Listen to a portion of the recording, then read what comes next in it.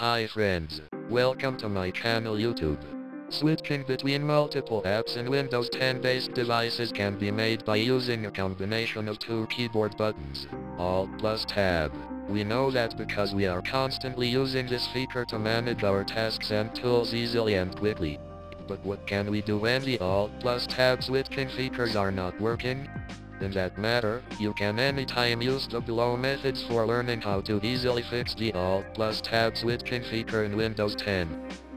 The Alt plus Tab shortcut to switch between various apps is enabled by default in Windows 10, but if you're using several monitors, you need to make a slight change.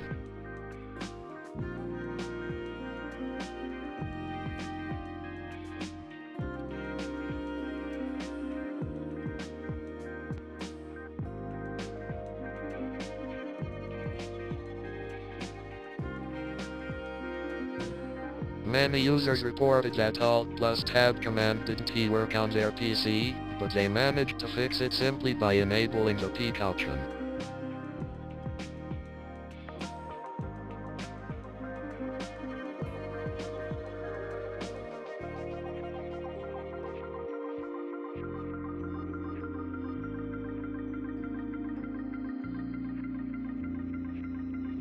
According to users, Alt-Tab is not working on their PC due to various peripherals.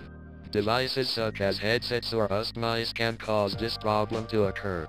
Users reported that they resolved this issue after disconnecting their headset or mouse from the PC.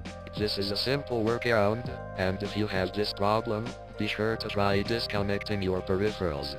Keep in mind that this might be just a temporary solution, so you'll have to repeat it if the problem reappears.